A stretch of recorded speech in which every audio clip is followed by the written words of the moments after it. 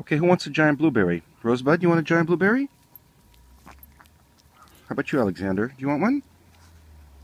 Our kids love fresh fruit from the farmer's market. Colette, now Colette does not like fruit. Well, she does like fruit, but not blueberries for some reason. But look at these enormous blueberries we got from the farmer's market today. Oh my God! Have you ever seen such gigantic blueberries? I haven't seen anything like that. But anyways, the kids are liking them. Okay, one more, kids. One more. Oh, there we go.